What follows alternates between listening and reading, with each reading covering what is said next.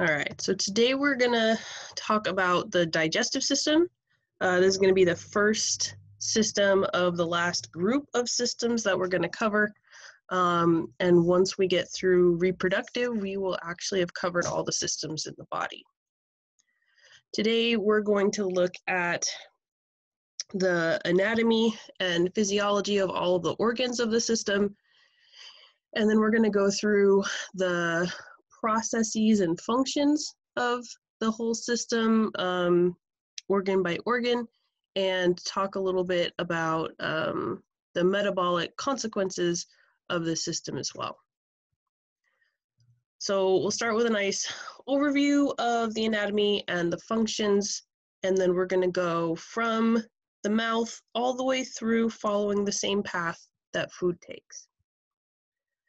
So the digestive system, when you look at it in a broad sense, has just some very basic functions. It breaks down the foods that we consume and um, ultimately uh, allows us to absorb the nutrients from those foods um, into the body so that we can use them. The digestive system is composed of two basic parts. So the gastrointestinal tract is a continuous tube from your mouth all the way through to your anus. It doesn't work alone though. The accessory organs are the other components of the digestive system that contribute to the functions of the gastrointestinal tract, but are not actually part of the tube. So when we look at the details of that, we can see that the tube itself has different names based on where it is and what it does. Uh, and so this is all the parts of the tube. And then the accessory organs um, are actually kind of just divided up into two groups. So we have a set of them associated with the mouth, which are the teeth, the tongue, and the salivary glands. And then we also have a set associated with, um, oh, pen color here, um, associated with the small intestine and enzymatic digestion of nutrients. And so those are those guys right there. So we'll touch on the accessory organs as we get to the parts of the gastrointestinal tract that they support. But when we take all of these organs together, they make up the digestive system. Now, the gastrointestinal tract has a fairly consistent structure throughout the entire tube although there are some minor um, minor differences in specific locations.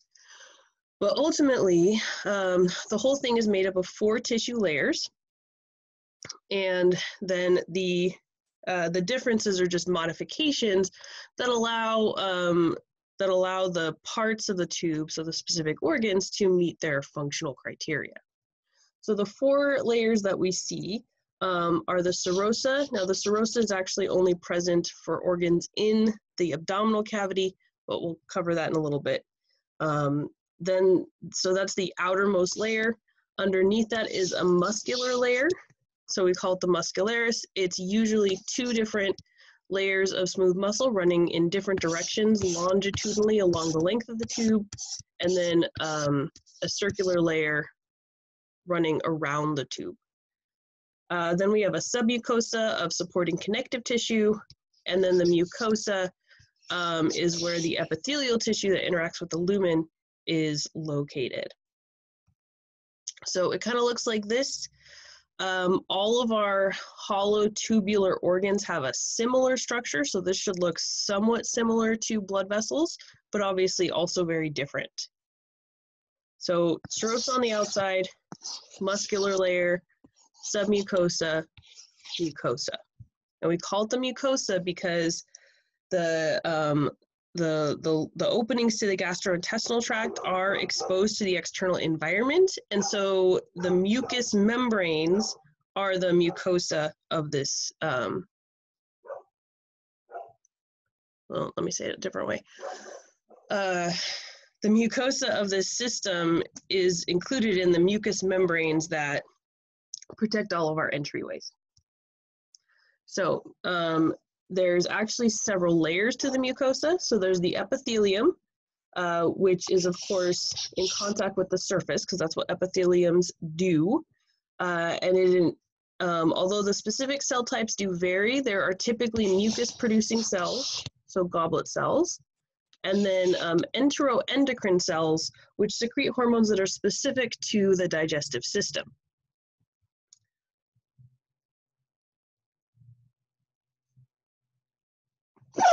Oh, sorry about that. Okay, so then the epithelium is supported by a lamina propria. All epithelia are supported by a connective tissue layer. So the lamina propria or proper layer um, is just some loose connective tissue that connects the epithelium to the underlying tissues, um, helps form the basement membrane between them, um, and allows for blood vessels, lymphatic vessels, and lymphatic tissue to run um, through to the epithelium. And then the mucosa also typically has a fairly thin layer of smooth muscle itself. And this um, helps keep the surface of the tube uh, folded up. So it's not like it's not like you just have like a pipe and a straight running tube. There there is texture to that surface, and we'll talk about it as we get to each uh, part. Um, but generally speaking, the goal of that is to increase the surface area for digestion and absorption.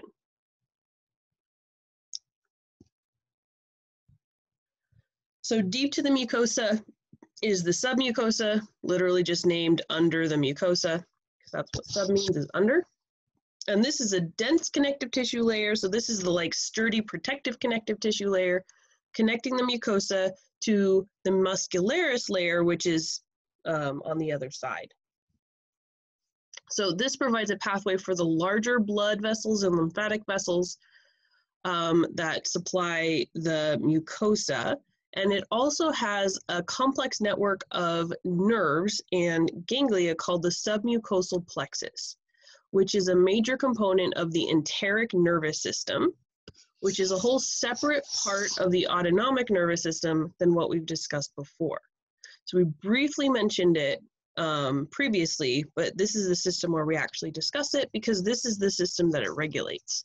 So the submucosal plexus regulates um, our digestive reactions to food. So basically the way the digestive system modifies its behaviors um, when you eat and digestive secretions because all of the glands that secrete stuff in to help with digestion are located either in the mucosa or the submucosa. So the third layer is the muscularis, and as I said, it's typically two layers. So there's usually an inner circular layer and then an outer longitudinal layer.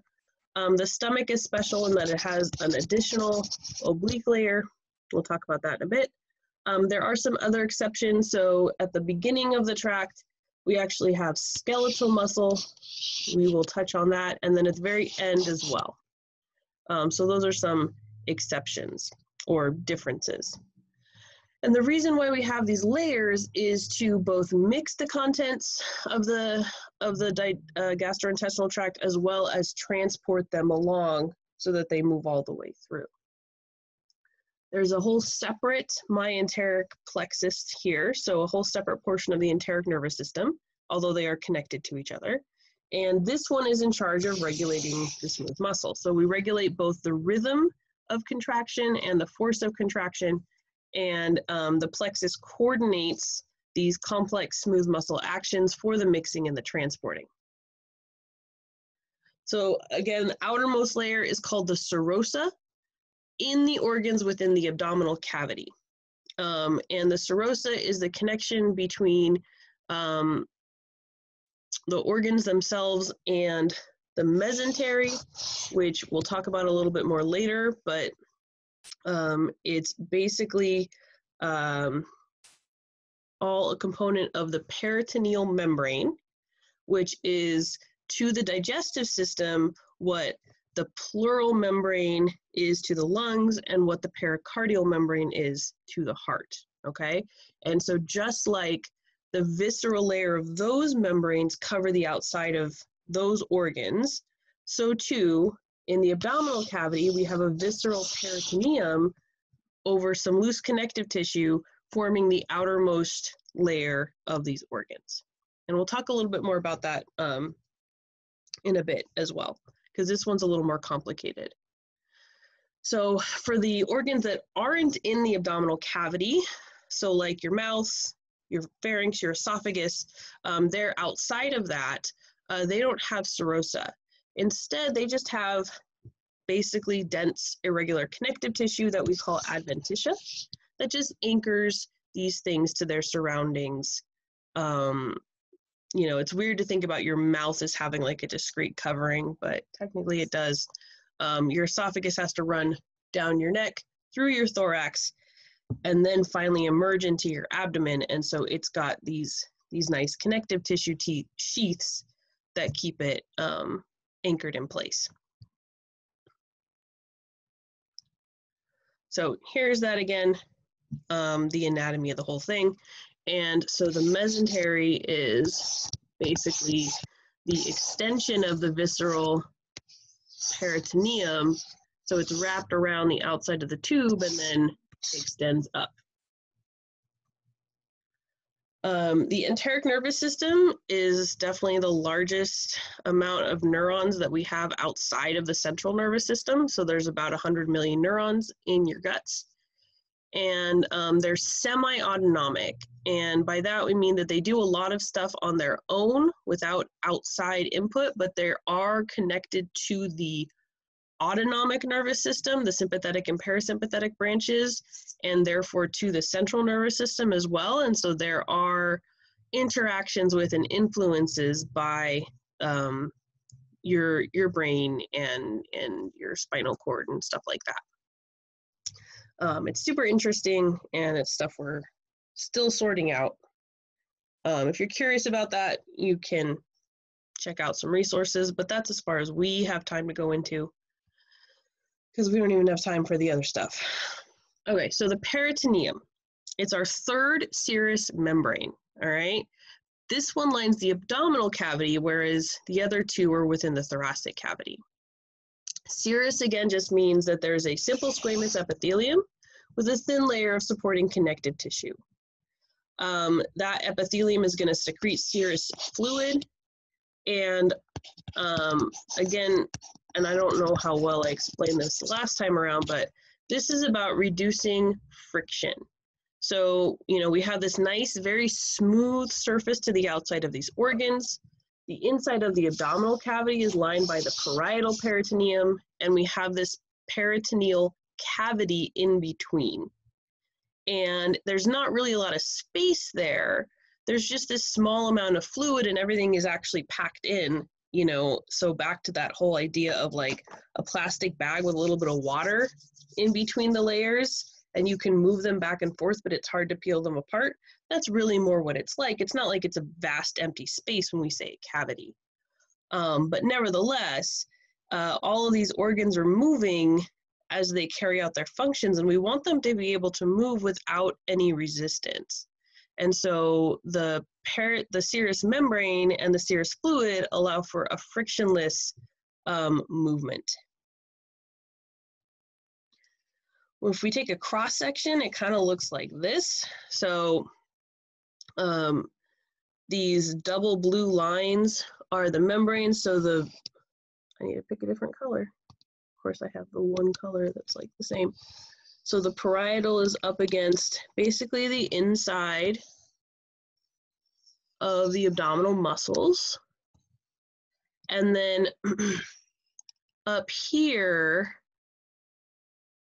uh, this is the posterior aspect, so like the, the, the deep part of your abdominal cavity. It gives off these, these stalks. And those stalks come out and wrap around all these organs as the visceral peritoneum. So we can look at it from the sagittal view as well, uh, where, oh, that's not actually it, right?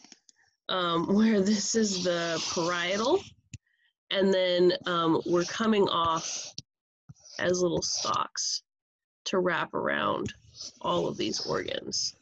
See that? So it's much more complex because we have so many different organs in there.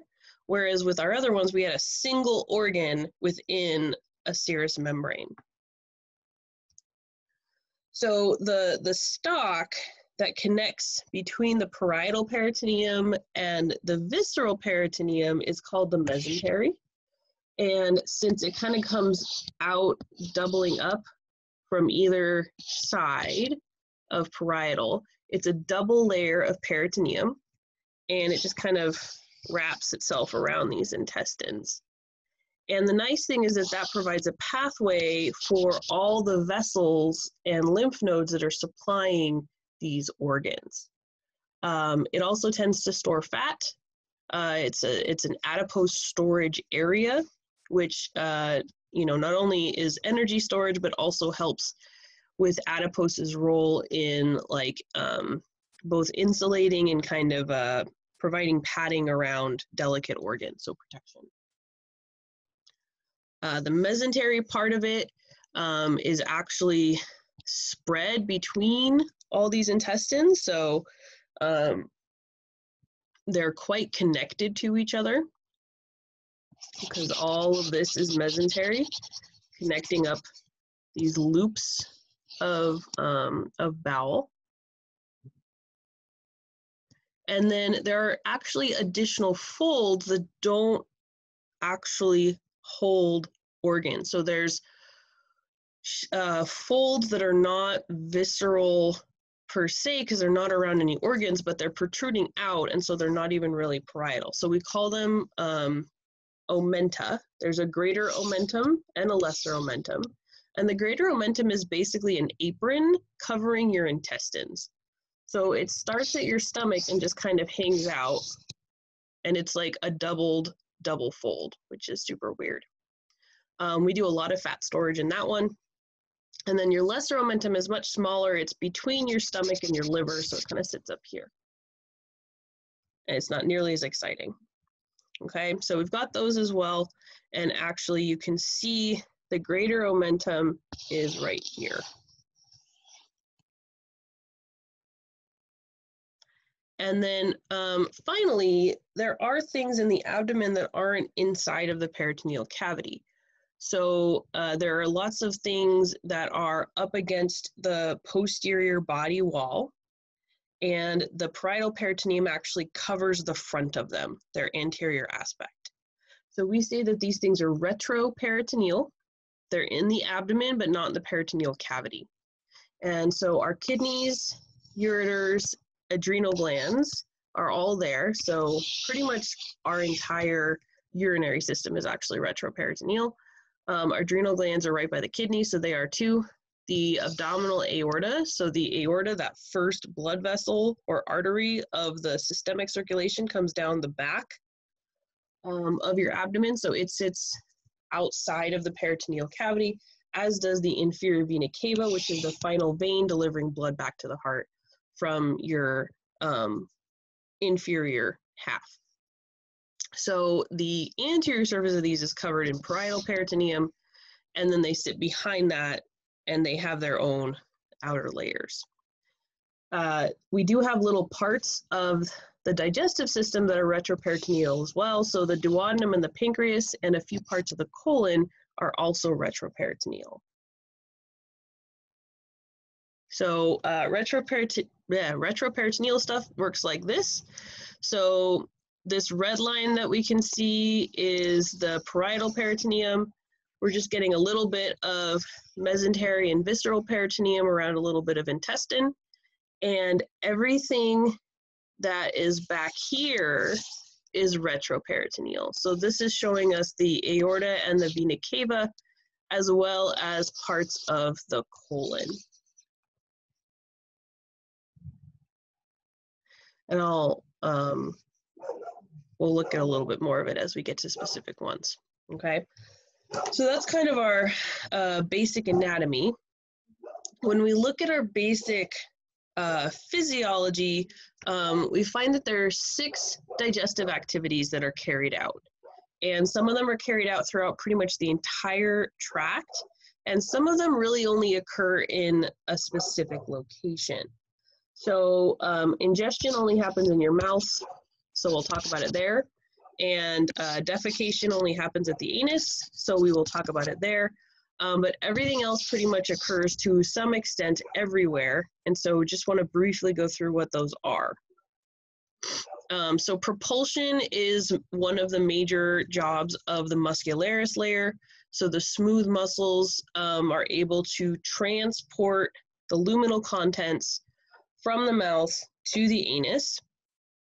So peristalsis, which I briefly did tell you about before, is the primary transportation or propulsion method of the gastrointestinal tract. So the lymphatic vessels do this too. That's where you've heard it before. Um, but this is definitely the most important in the digestive system. And basically, what happens is that you have this tube and you have something in it that you want to move. So you contract down behind it and relax in front of it, and that squeezes it forward. And then you do this over and over and over again, and it keeps moving forward. So there it goes. A little GIF that I managed to find a little while ago, showing you essentially how this works.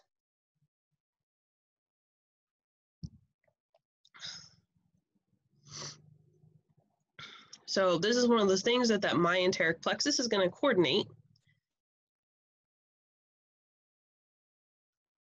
And um, we see it pretty much throughout the whole tract. Wherever there's smooth muscle, we're going to have peristalsis. Um, when it comes to digestion, we do split it up between mechanical digestion, which is the physical breakdown of food into smaller particles. Um, we start that process with mastication or chewing.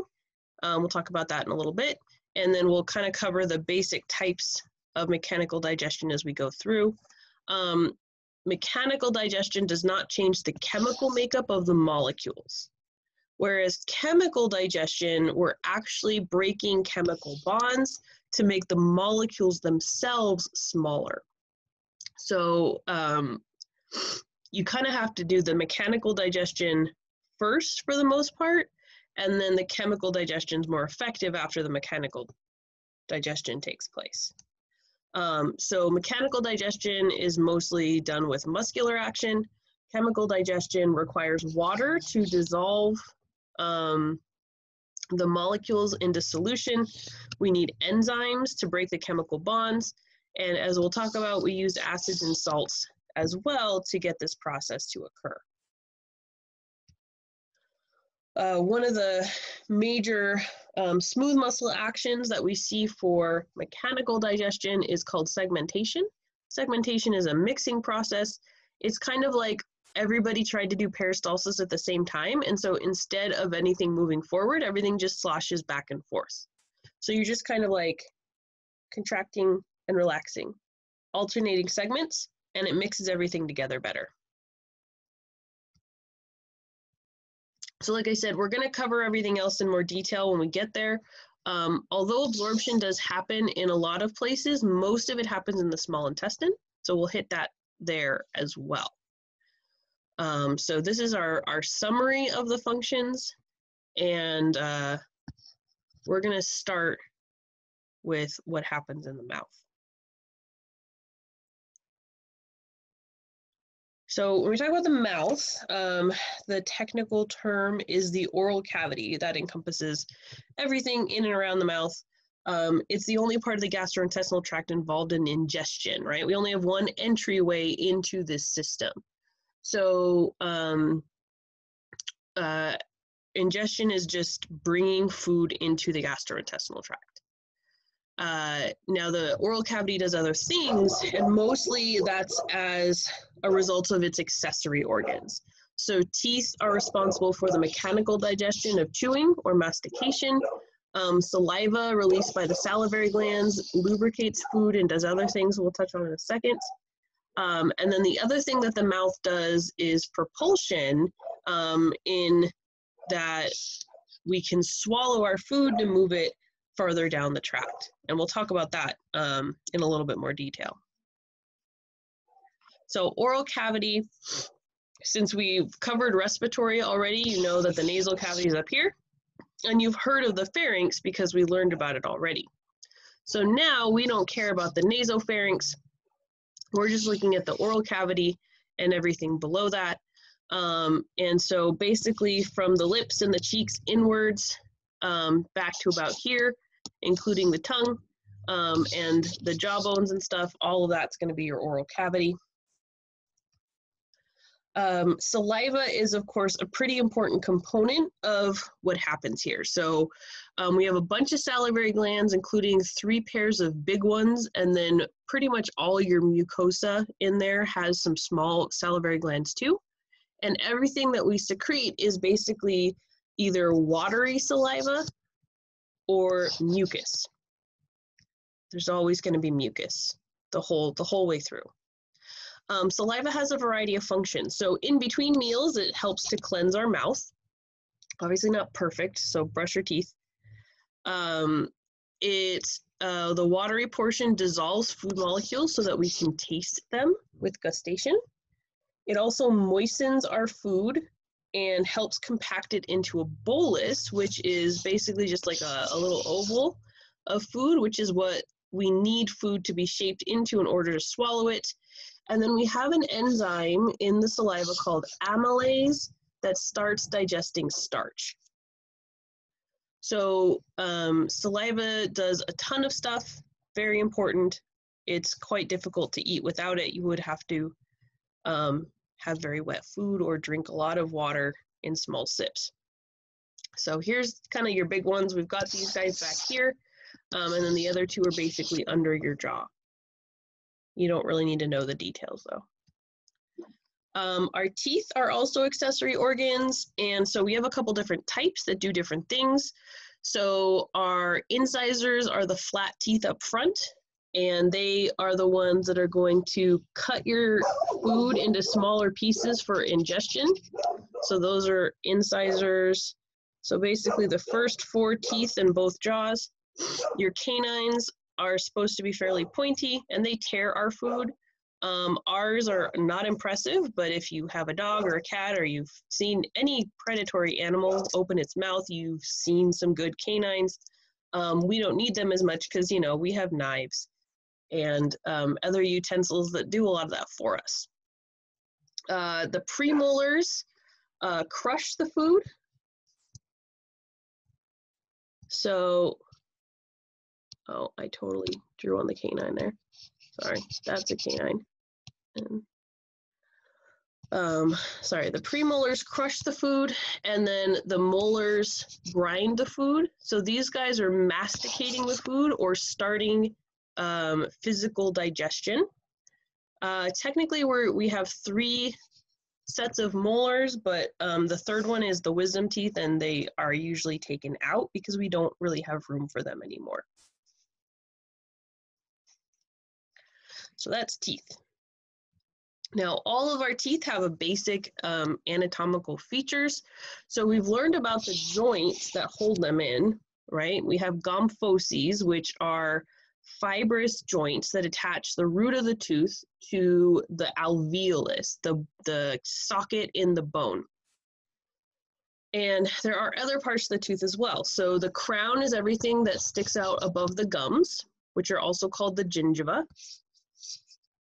The neck is the part that's under the gums where there's still enamel, that shiny white hard stuff that we grind with.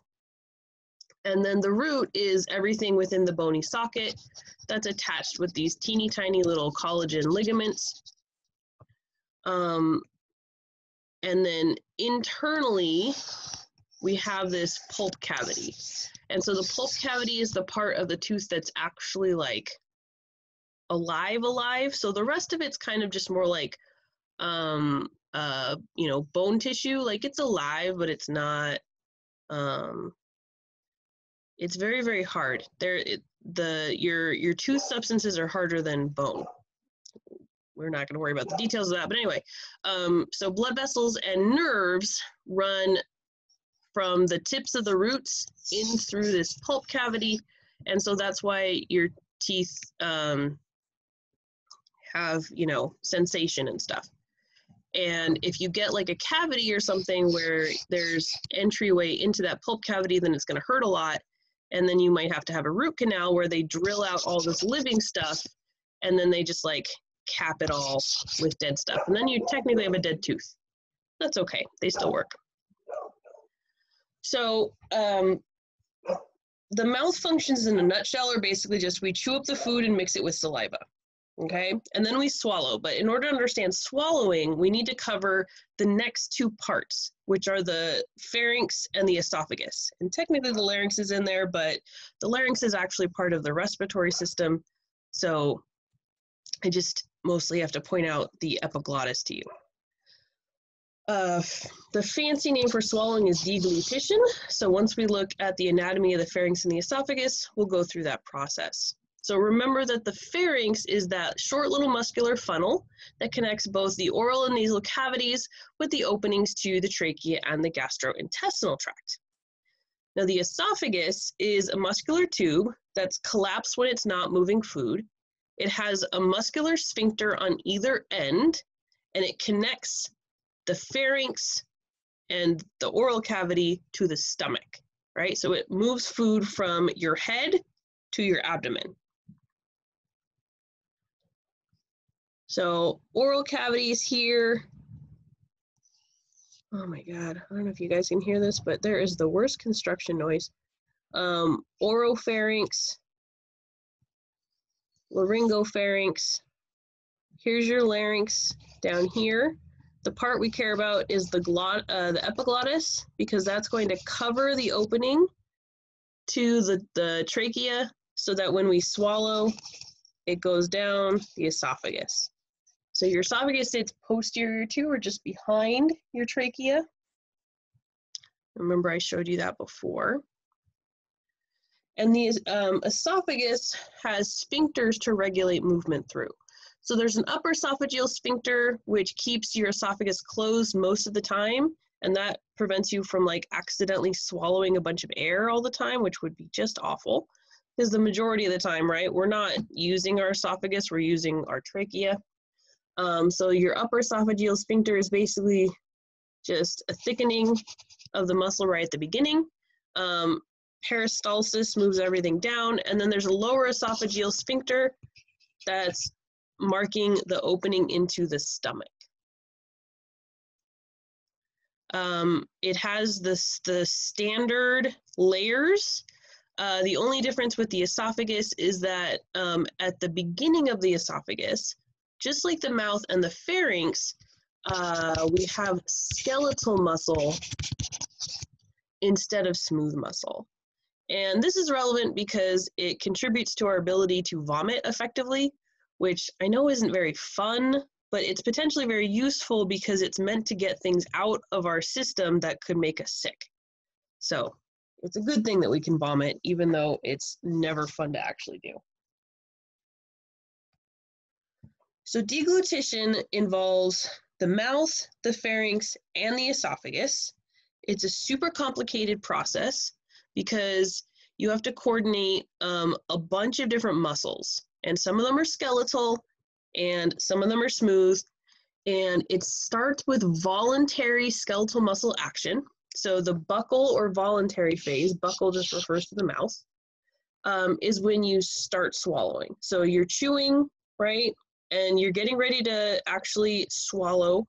So you use your tongue to push whatever's in your mouth. So we call it the bolus again to the back of the oral cavity. This is the part you have control over. Once you get it into the back of the mouth, we switch over to involuntary uh, processes. So the pharyngeal phase is when we switch over to involuntary stuff. And so your soft palate moves up to close off the back of your nasopharynx, which prevents food from moving into your nasal cavity from your oropharynx. The epiglottis closes off the trachea so that you're not, you know, accidentally inhaling things that are food. So now you've created a pathway from the oropharynx into the esophagus. And the um, pharyngeal muscles are all going to squeeze to make it all move in there. Um, we get it into the esophagus by uh, relaxing that sphincter. The food moves through that sphincter, and then it's all peristalsis all the way down.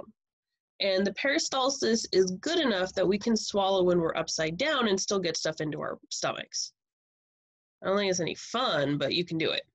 So we're not gravity dependent for getting things into our stomachs. This is just the same thing, but in picture form. So once we move this into the back of our throat, we're relying on involuntary action, so reflexive actions to get it the rest of the way in. And that's why when, you know, something happens at that point in time, you can like accidentally kind of choke and stuff because you're overriding an involuntary action when there's something in the back of your throat. This is never very fun. All right, so the esophagus, peristalsis into the stomach, and that takes us into the abdomen. So now we're gonna look at the stomach and its anatomy and its physiology. So the stomach is um, super important, uh, although not critical. You don't technically need one, but it's very useful because um, it's very expansive. So it's able to temporarily store a meal. It can, this is, I believe, an average, but it can actually hold up to four liters of ingesta. So, like a gallon of stuff in your stomach. And that allows us to eat significantly sized meals and then slowly digest them over time. If we didn't have a stomach, then we would have to just kind of constantly be eating small amounts because we'd have no storage ability for food. Uh, the stomach is going to continue mechanical digestion of food. That's one of the reasons why it has three layers of smooth muscle. It's also the location of the beginning of protein digestion which I'll touch on in a second. And um, it mixes the food together with gastric juice, which is everything that is secreted by the stomach lining. Um, when it mixes up that food with the gastric juice, it forms something called chyme. All right, so let's see how that all works. First, the anatomy. Uh, there's four regions to the stomach. The very first part is called the cardia, and it's where the lower esophageal sphincter is located. It's the entryway into the stomach. Very small region, it's pretty much just the sphincter. Uh, there is a fundus to the stomach, which is a superior little dome. So basically your esophagus comes in over here, and then your fundus sits above it. The majority of the stomach is the body, and it's below the cardia, and then your stomach kind of funnels down, which we call the pylorus. It's the last part. There is a sphincter here as well, the pyloric sphincter. And so that's the part where we then transition to the small intestine. Um, so we're, we have to control that exit as well. So entryway and exit and everything in between. Uh, so third layer of muscle is, is the other unique feature here. Um, when the stomach isn't fully distended or full, uh, there is a texture to the mucosa, basically all folds up, um, and we call those folds rugae. And then uh, you saw my little doodle that the stomach has a shape to it.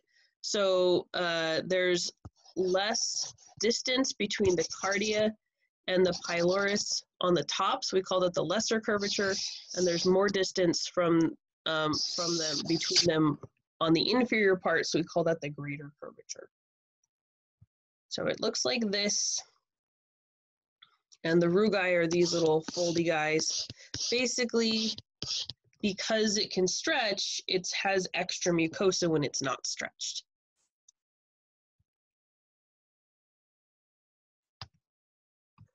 As far as um, the histology of these things, we usually just worry about the epithelium. So the stomach um, is lined with uh, um, mucus producing cells. The mucus protects uh, the, the epithelium from the acid that is secreted into it. Uh, in order to actually have secretory cells of other things, then they're, they're hidden in what are called gastric pits.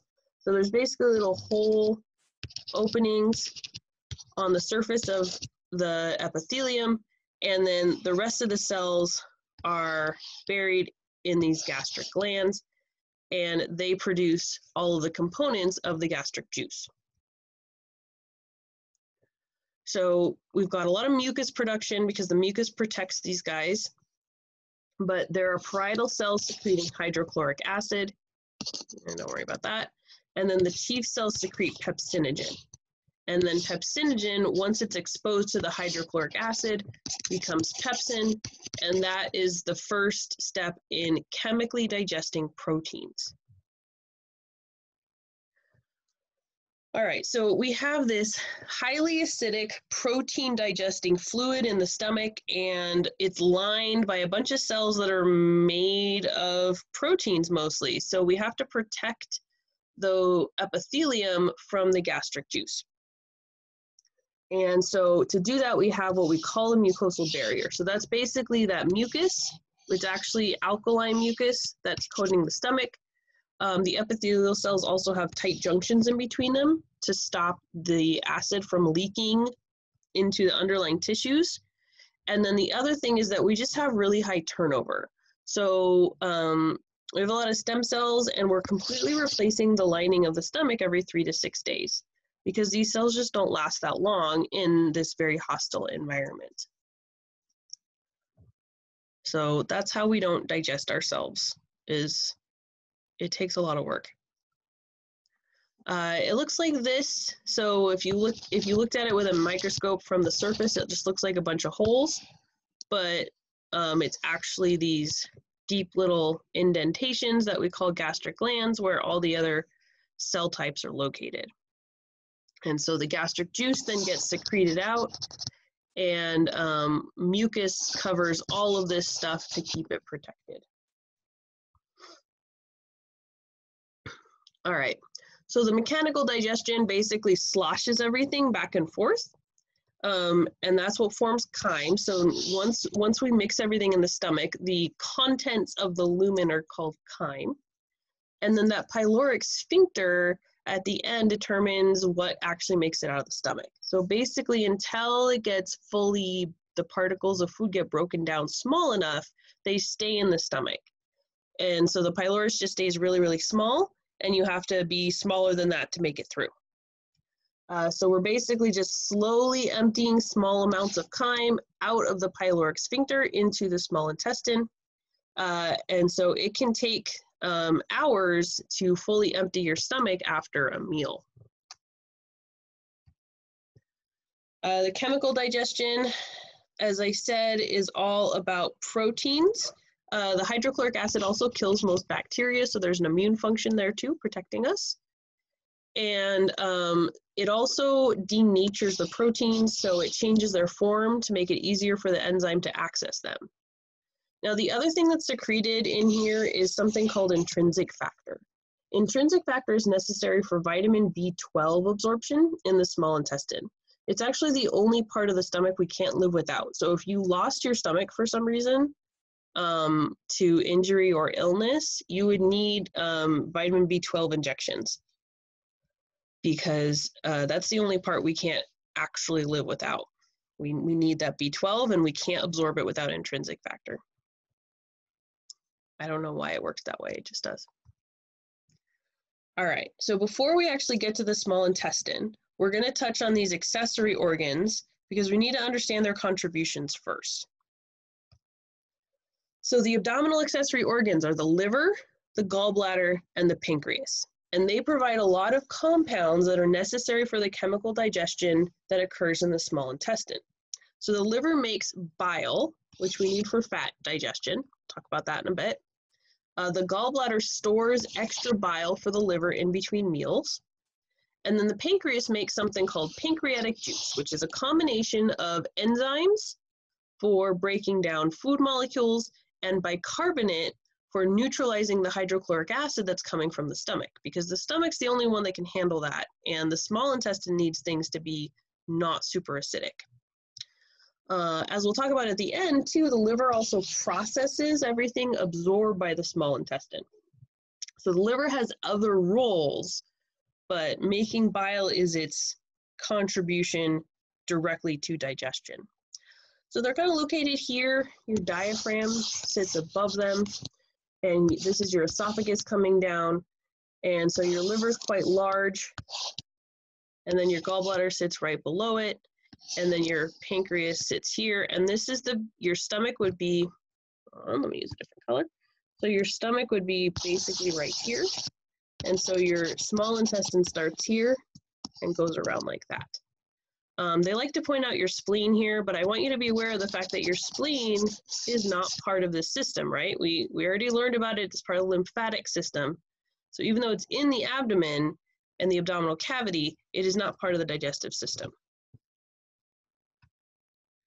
All right, so the liver um, has both very simple and complex anatomy, but the part that I want you to be aware of is that it receives a double blood supply. So the hepatic artery delivers oxygenated systemic blood to the liver to supply it with oxygen. And then there's something called the hepatic portal vein that delivers all of the blood directly from the small intestine with everything that's been absorbed from your meal, nutrients, as well as potentially any toxins. And so it processes all of those things that you've just absorbed before the rest of the body gets to see them, which makes it super, super, super important. And, and we'll touch on that a little bit more later. And then um, there's also a, a duct carrying bile out, and it comes out at the same point that those two vessels go in. Uh, inside of the liver, there are sinusoids, so it's very leaky in there, and we basically just have these, these blood pools that bathe the cells of the liver, which are called hepatocytes, access to all the nutrients and toxins and waste coming from the intestine. So this allows the phagocytes to extract a lot of the toxins and detoxify them and process any waste. And then they'll also process the nutrients as well and kind of help um, control the supply for the rest of the body, and store a lot of extra stuff. We also have phagocytic cells of the immune system here, and they are filtering the blood very similarly to how the spleen does. And so they will like remove old red blood cells and other things as well. So they, the liver also has um, spleen-like functions as, as well, although that's not its primary job. Uh, the bile itself is an alkaline solution, so that means it has a high pH, right? Opposite of, of, of acidic. Um, and it contains a variety of things. So it has bile salts, bile pigments, cholesterol, triglycerides, phospholipids, and electrolytes. Um, bile pigments, the most common one is bilirubin, which is actually a product of, it, it's basically converted heme from hemoglobin breakdown from old red blood cells. And it's, it's how we get rid of that. And then the bile salts the liver makes from cholesterol, and they're the part that are actually really important for helping us digest lipids. So the gallbladder is just a storage system. It's literally just a little muscular sac it stores the bile that the liver produces. It extracts a lot of the water out, so it concentrates it. And then it secretes it into the duodenum, which is the first portion of the small intestine. Um, it has like a body, a fundus, and a neck, so it's kind of just like, woo, like that. Um, and then it's got a little duct connected to the duct coming out of the liver, and then those guys go on to secrete into the duodenum. So it looks like that. So you can see coming out of the liver, coming out of the gallbladder, onto the small intestine. Um, the secreting or the, the concentrating can get a little crazy, so you can make gallbladder stones, and they can be quite painful when you then try to pass them out of that little duct. Um, so just wanted to show you some pictures of concentrated bile that has turned into stones. It's weird and and slightly pretty at the same time. All right, third one is the pancreas. So um, remember that there's two parts to the pancreas, right? There's endocrine pancreas, making insulin and glucagon, which we've touched on before. And then there's the exocrine pancreas, which makes pancreatic juice. Pancreatic juice is mostly a bunch of enzymes to digest all the nutrients. They're produced um, in, this is the majority of the pancreas, so basically acini are the little clusters of secretory cells, and then the ducts are the connection between that and the duodenum. The ducts are the ones that make the water and the bicarb, and the acini are the ones that make the enzyme in a form called zymogens. Um, so we basically make enzymes for all of the organic molecules that exist, and we make about a liter of this a day to digest our meals. So just a little breakdown of how that works there. Um, what you might ask is a zymogen? Well, a zymogen is an inactive pre-enzyme that needs to be activated before being functional. So the pepsinogen that gets secreted into the stomach is also a zymogen. And in um, when we convert it into pepsin through exposure to hydrochloric acid, now we've activated that enzyme. So the pancreas does the same thing because it's making protein digesting enzymes too, and it doesn't want to be digested by its own products. So all of the protein digesting enzymes get secreted as these inactive precursors, and they don't get activated until they make it out into the small intestine to protect the pancreas from itself. All right, so there's the pancreas, this little guy here, and along with the bile, it's secreting right into this duodenum right here. So that's all the ducts. They actually come together before they secrete. So the bile and the pancreatic juice all get secreted at the same location. And the stomach is like literally right here, okay? We just can't show it because it would block everything. All right, so now we're actually ready to get into the small intestine. So small intestine is the longest part of the gastrointestinal tract. It's basically three meters long. That's like 10 feet, okay? Um, and it's longer after you're dead because then it's all relaxed. Before that, you have smooth muscle tone. Just a weird fact. It like doubles in length. But anyway, um, basically from the pyloric sphincter, which is where the stomach ends, to this guy called the ileocecal valve, which is where the large intestine begins. Um, and we divide it into three parts. So the very first part is the duodenum. It's less than 10 inches long, fairly short, uh, but it does receive everything from the stomach, so it's kind of a big deal and then the rest of it is the jejunum and the ileum. So this is where almost all the digestion and almost all of the absorption occurs, which is one of the reasons why it's really long, because it takes time to do that. This is what it looks like. So the duodenum is the part that's retroperitoneal, and it's sitting there behind the membrane, uh, the peritoneal membrane, right along with the pancreas right there. And then it kind of comes out back into the abdominal cavity, and then all the swirly stuff, like when I showed you the mesentery, that's all jejunum and, and ileum. It's hard to tell the difference between them. And then the ileum is the part that empties into the large intestine. Oh yeah, I did keep that. So this is the picture with the retroperitoneal. So duodenum, and pancreas. You can see there's a kidney here too, and uh, parts of the colon as well. Uh, when we look at the details of this guy, it's a little bit different than the stomach. So the key here is increasing surface area for digestion and absorption. So we have three different features of the small intestine that do that. So the first one is circular folds, which are basically ridges of both the mucosa and the submucosa. And not only do they increase surface area, but they serve to actually spiral the intestinal contents through, kind of helps move it through. When you increase your magnification, you get these villi, which are hair-like projections. And if you're just looking at the surface, it just makes it look fuzzy because they're quite small. Um, but if you increase your magnification, you see that they just kind of look like, like this. Um, the microvilli is the last one. So remember, microvilli are cellular extensions. Um, of, of the apical surface of epithelial cells. So these guys are columnar epithelial cells with these little microvilli on top. It's called the brush border here because it just kind of looks fuzzy. And so all of these things serve to greatly increase the actual surface area of the small intestine.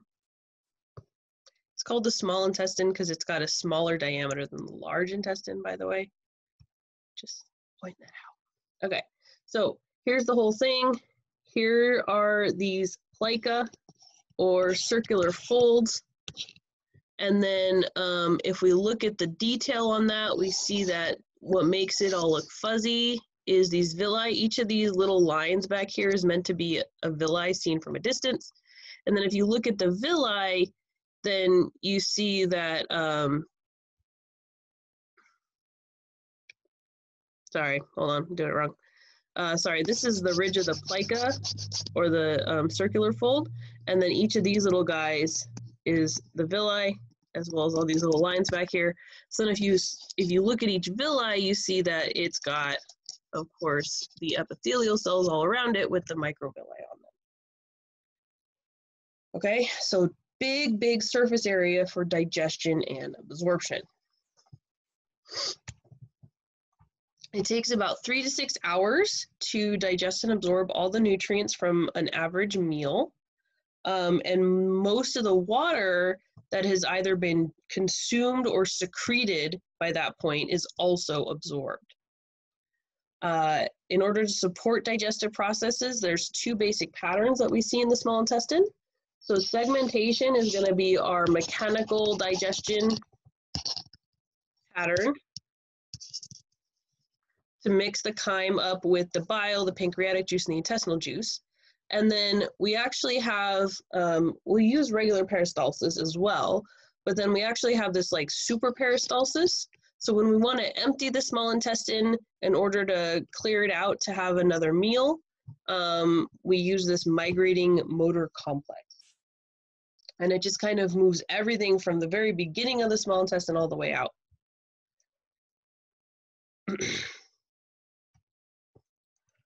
All right, in case you forgot what segmentation was, here's the picture again. Uh, chemical digestion is completed in the small intestine, um, and the majority of it is actually carried out there as well. So uh, technically, we've started carbohydrate digestion from the amylase in your saliva, and then you've started the protein digestion from the pepsin in your stomach. Lipids are, are essentially untouched at this point. And we still have a long way to go on the carbs and the proteins too. So the first thing we're gonna do is mix everything together. And that's going to neutralize the hydrochloric acid. And it's also going to give all of our enzymes access to these nutrients to start breaking down those chemical bonds. There's two stages of chemical digestion. Um, and that's because the pancreatic enzymes are able to break down these uh, polymers, these really long chains of organic molecules that are coming straight from the stomach. Once they've done that, we now have shorter molecules, and the intestinal enzymes, which are actually attached to um, the epithelial cells, which are called enterocytes, um, are able to break them down into small enough components for absorption. So they basically have to be monomers or dimers. And what that means is something like monosaccharides, so like glucose, uh, individual amino acids, and we'll talk about lipids in a second. So with lipids, it's not as simple as just giving them enough enzymes to break them down into their, their key components. And that's because lipids are hydrophobic, so they don't have um, they're not dissolved in these solutions. And so the lipid enzymes, which are proteins and are dissolved in solution, have trouble accessing the lipids to actually break them down. And this is where bile comes in. So bile breaks apart the globules of fat that are still fairly large from our meals. This is a process called emulsification. Emulsification is when you take a big glob of, of lipids and you break it down into smaller globs. This is the same thing that soaps do. And this is why you need to use soap when you have grease on your clothes. So um, the, this is what the bile salts do. So the bile salts are kind of like phospholipids. They're amphipathic. They have a hydrophilic side and a hydrophobic side. So the hydrophilic side interacts with the hydrophobic lipids, and then the hydrophilic side happily interacts with the water. So now you have smaller droplets, and the enzymes can come in and break these guys down. Mostly what we have to do is just break the triglycerides down into individual fatty acids and monoglycerides. So one of the fatty acids stays connected to the glyceride part. Uh, we take those bile salts and we actually package the, the triglycerides and all of the other lipids into these little balls called micelles. So any cholesterol in your meal, um, any phospholipids from like membranes of cells, uh, the monoglycerides and the fatty acids, they all get shoved in here and then they can be absorbed along with everything else. So pretty much all of the digestible molecules in your food are going to be absorbed in your small intestine, as well as 80% of the electrolytes dissolved in this solution and 90% of the water. And keeping in mind that the, the water isn't just what you are consuming, it is also what is being secreted in. There's five different mechanisms of absorption, and they all are the ways that we can move things across plasma membranes. So, active transport using ATP, simple diffusion of really small nonpolar things, facilitated diffusion using channels um, and stuff. Uh, secondary active transport, moving things by creating a gradient with active transport, and then endocytosis, where the cell actually engulfs large amounts of stuff. Um, a lot of things are moved by co-transport or secondary active transport. And we do that by using sodium um, as our primary active transport. So what the intestinal cells do is they pump sodium out of the cells, keeping the sodium gradient inside the cell really low. Very little sodium inside the cell, which is totally normal, right? And so then we have a bunch of channels up here on the apical surface that allow sodium in. And it's going to do that because it's moving down its gradient, which we maintain by pumping the sodium out down here. And then it's going to be a bunch of co-transporters that require another molecule to also let the sodium in. So uh, a lot of amino acids, glucose, galactose, other electrolytes, all of them are going to use these co-transports that move these guys into the enterocytes for absorption while we use ATP to pump out all the sodium to maintain the gradient. A lot of it happens like this. Lipids are, of course, different. So those micelles that we just formed um, are able to simply diffuse into the enterocytes because they are kind of the same thing as the plasma membranes. So that's cool. Um, and then the enterocytes actually process them um, and uh, turn them into a different ball of stuff that we'll talk about later. And then they get moved out and unlike everything else, so everything else gets moved out down here and goes into the blood. And the lipids actually end up in the lacteals, so the, the lymphatic capillaries. And we talked about this a little bit before. Um, this is uh, something you can actually see. So this is a picture of the mesentery uh, showing white lymphatic capillaries or lymphatic vessels. And you can see there's several of them here. They're moving here, they're going through a lymph node, and now we have a larger vessel emerging out, and away they go. So they're white because the lipid makes it white, which I think is kind of cool. All right, so with the absorption, um, it uh, and secretions, it happens in a variety of places. So between what we consume and what gets secreted to help us digest and absorb, we, we, we usually get about nine liters of water moving through the small intestine. And since we're absorbing most of it, we absorb eight liters, and the large intestine is going to absorb the majority of the rest. So that by the time we get to the end of the large intestine, there's only about 100 milliliters of water in feces, just enough to keep it soft enough to move it out. Um, but if you look at this, you'll see that if we're consuming an average of two liters of fluid and food, um, everything else is getting secreted from our own store. So one to one and a half liters of saliva, one and a half liters of gastric secretions, a liter of bile, a liter of pancreatic juice, two liters of intestinal secretions. So um, it takes a lot of fluid to mix up all this stuff and and and um, break it down for absorption is kind of your take home there.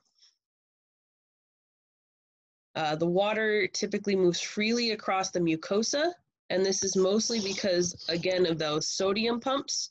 Um, it's going to follow all of those solutes. So as we're absorbing everything else, the water follows.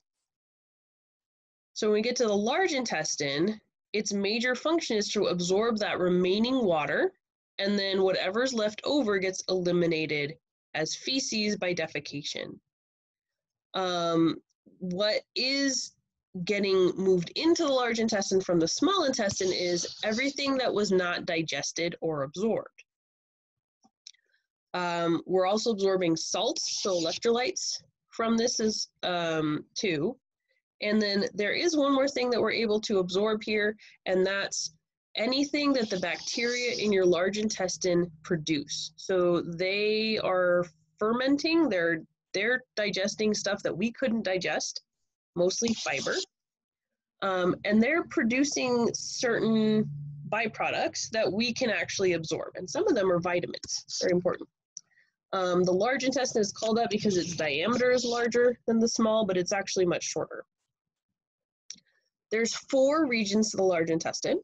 So the cecum is the very beginning of it. It's a little sac. So the ileum empties here, and then we have this little sac of the cecum. The appendix sticks off the end of it. That's where your appendix is. And then, um, and then the rest of it is mostly colon. So the colon arches up and then over and then down. Um, so it goes ascending as it goes back up towards your head transverse as it goes from right to left, and then descending as it goes back down. Um, ends with a sigmoid colon because it's got a little squiggle to it, and that's connected to the rectum, which is the very last eight inches of large intestine. Um, it's got these little folds in it called rectal valves that kind of stick out, kind of like the circular folds. Um, they let you fart without pooping, you guys, so they're important. And then, of course, the very end is the anus, which is a canal, and then both an internal and external anal sphincter, which we'll talk about in a second. So uh, cecum with appendix, ascending colon, transverse colon, descending colon, sigmoid colon, uh, rectum, which rectum just means straight. Remember your rectus abdominis muscles? It just means straight. It runs straight out the bottom, okay? And then um, the very, very end of that is your anal canal and um, anal sphincters.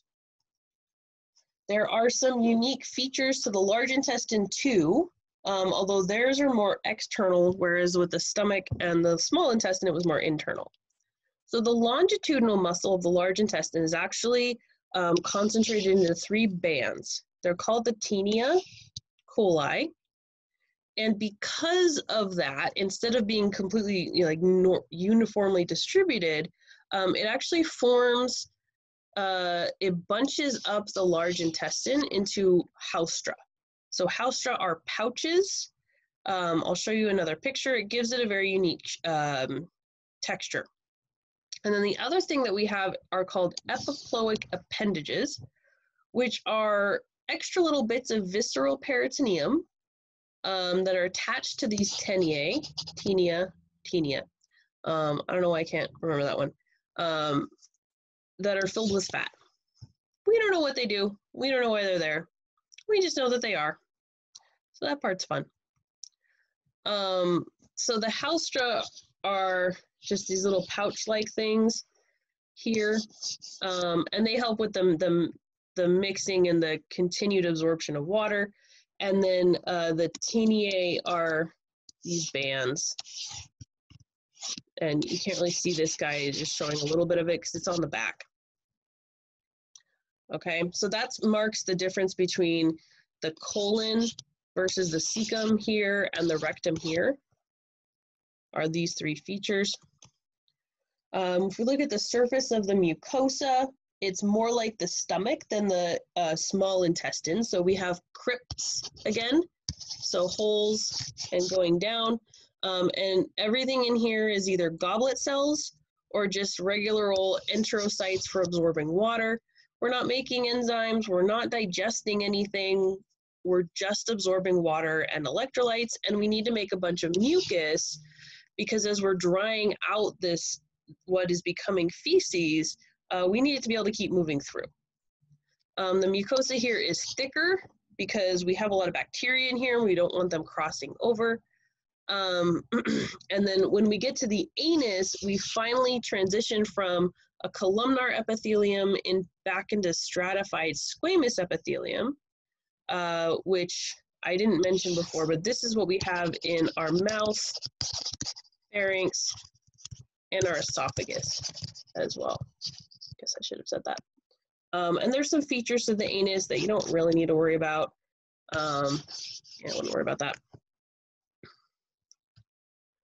Uh, so it kind of looks like this, again, very similar to the stomach. So we have these crypts that are the openings, and then the glands, so these deep indentations, and mostly we're just putting mucus out onto the surface. I mentioned it, so we have a lot of microorganisms in the large intestine, uh, mostly bacteria, but other things as well. And we collectively call them the microflora or the microbiome. Um, they're supposed to be there. Uh, they have important functions. So they do ferment fiber um, and anything else that's indigestible to us, to be honest. They have access to whatever they want of anything that goes into the large intestine, but mostly it's fiber. Um, they make these things called BFAs that are actually good for your large intestinal mucosa, good for their health. This is one of the reasons why fiber is important in your diet. Uh, they do make gases as a byproduct. So that is one of the major sources of flatulence or gas that gets passed out the anus. Um, and they make a lot of uh, B vitamins and vitamin K. It's actually one of our most important sources of vitamin K is from the bacteria in our large intestine rather than from our diet. Um, this is something that is still being studied and we don't know a ton about it, but we know it's really, really important. And the more we learn, um, the more important it seems to get. And we're slowly learning how to like interact with it and potentially influence it. But we really don't know what we're doing yet. So don't really buy into anything that's being sold as a probiotic now, to be honest, because we don't really know. Just saying. Uh, I don't have time to talk about the details about that. Okay, so the physiology in a nutshell is absorbing stuff. So uh, it takes about 12 to 24 hours to fully absorb that last 0.8 liters of water and vitamins and electrolytes. Again, a lot of what's going on here is that sodium pumping and everything else is following. The other function of the large intestine is moving the feces through to the rectum and anus and eliminating it with defecation. So the motility types that we have here, we have these haustral contractions, which is what we call the segmentations that keep mixing the contents to make sure we absorb all the water. And then they also have mass movement, similar to what the large intestine does, where we have these peristaltic waves that go from one end of the colon to the other and force everything into the rectum. And what tends to trigger this is something called the gastrocolic reflex. if any of you have small children or animals, you know that when you eat, you often poop within 20 to 30 minutes after. That's because filling the stomach triggers this movement towards pooping. It's basically like, hey, we got new stuff in there. Let's get rid of the old stuff. As we get older, that's not always consistent for a variety of reasons. Um, but typically, when you're young um, and often with animals, uh, that maintains its consistency. So then the last thing that we do is defecation. And this is also a reflex, very similar to swallowing. Uh, this is again something that only one part does, right? We only have one entryway, we only have one exit. So this is only performed by the anus. Um, feces is just everything that we couldn't digest and absorb in the intestines.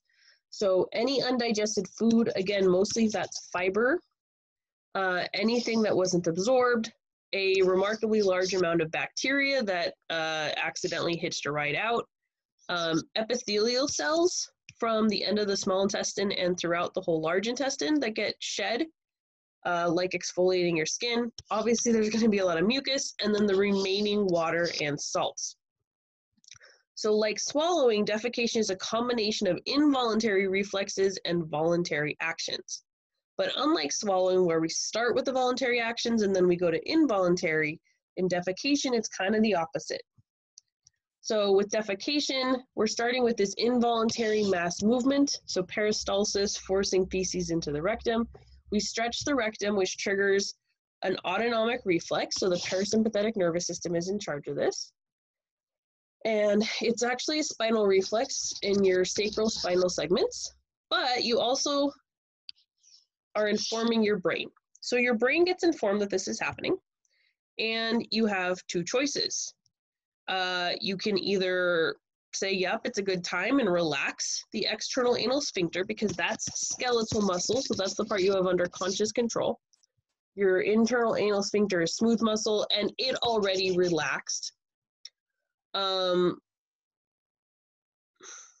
and then um, if you say no, now's not a good time, you can keep your external anal sphincter constricted and eventually um, all that smooth muscle of the anus, except for the sphincter, the sphincter tightens back up again, um, will relax. And so then if you don't defecate at the moment, the urge to go will die back. Um, and then at some point, the process happens again and it'll happen again. Um, if you do relax your external anal sphincter, you can aid the process with additional skeletal muscle effort, mostly through your abdominal muscles.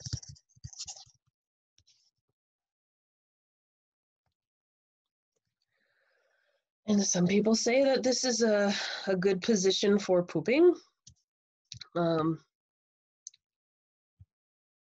because sitting on a toilet as we do in Western cultures is actually kind of weird based on everything. Anyway, um, so this is an overview by location. Um, makes for a great study start. So you start here and then you flesh it out from there.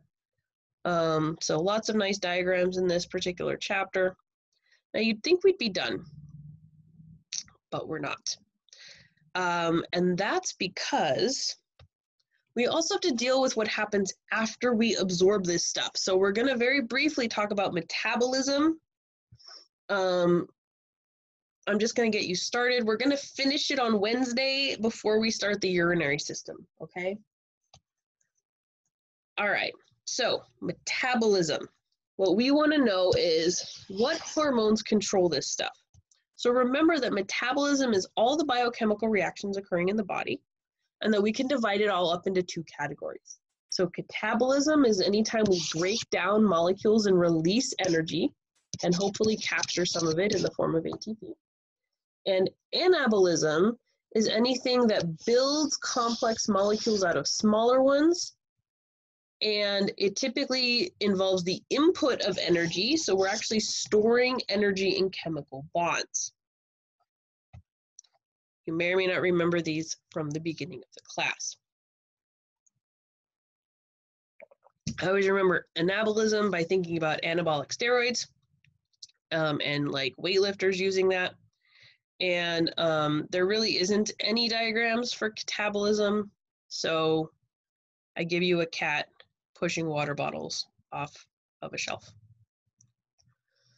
All right, so there are hormones that regulate both of these processes. And so we can actually put them into categories. Are they catabolic hormones or are they anabolic hormones?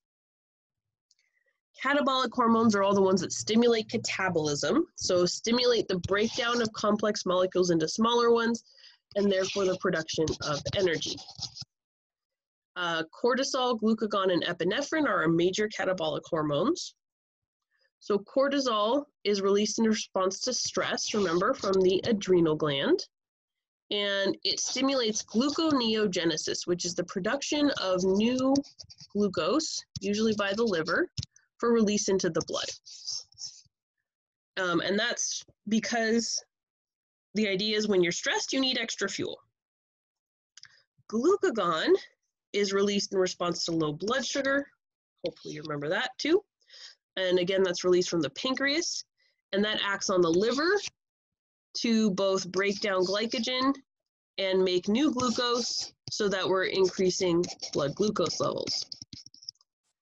Epinephrine released by the sympathetic nervous system. So this is also stress response stuff here um, from the adrenal medulla is also going to stimulate gluconeogenesis as well as a bunch of other things which are why it stimulates gluconeogenesis. So again, we're raising blood glucose with the idea that we are going to need more glucose available for, for, fuel because we're increasing our heart rate, increasing how hard it's pumping, increasing blood pressure, opening airways to bring in more oxygen, all of that stuff. So mostly we're going to be worrying about glucagon.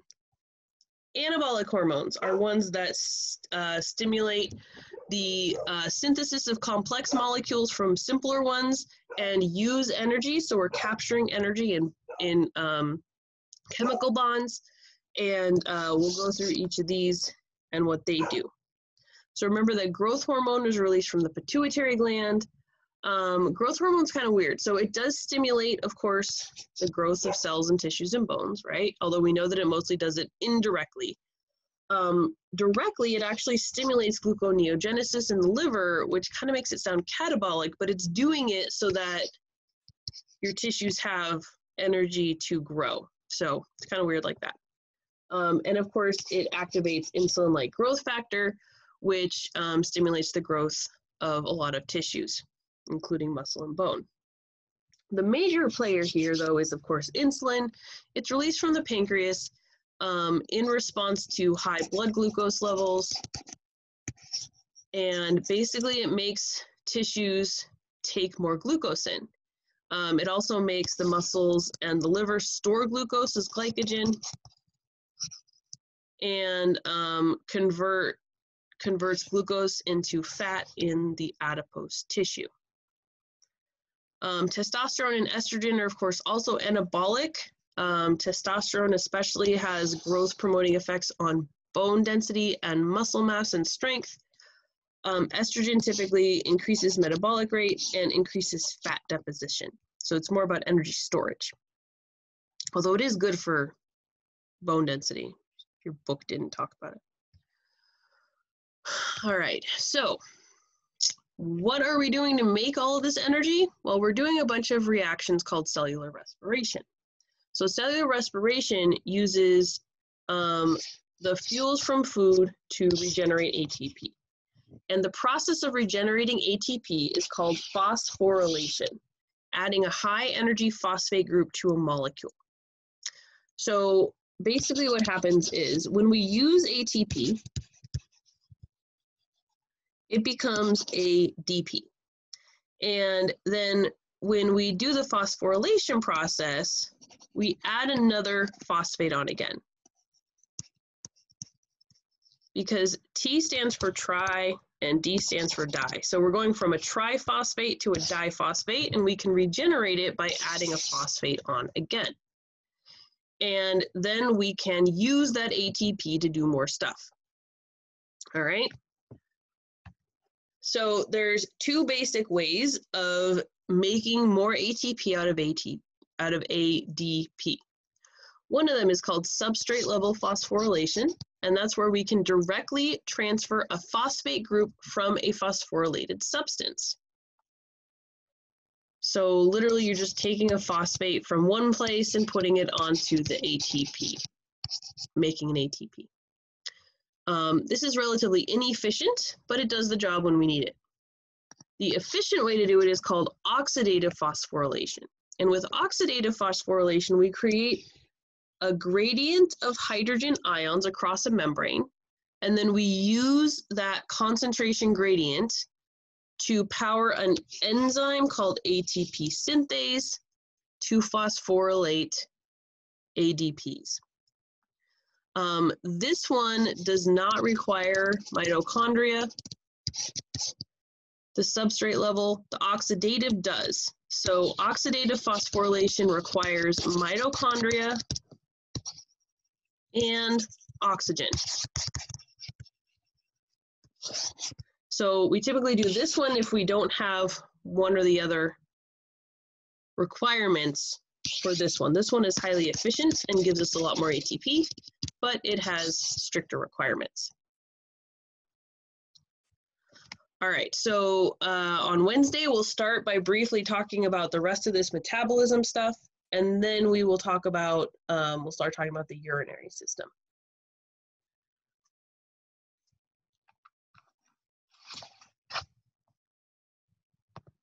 So I will see you all on Wednesday. Stop.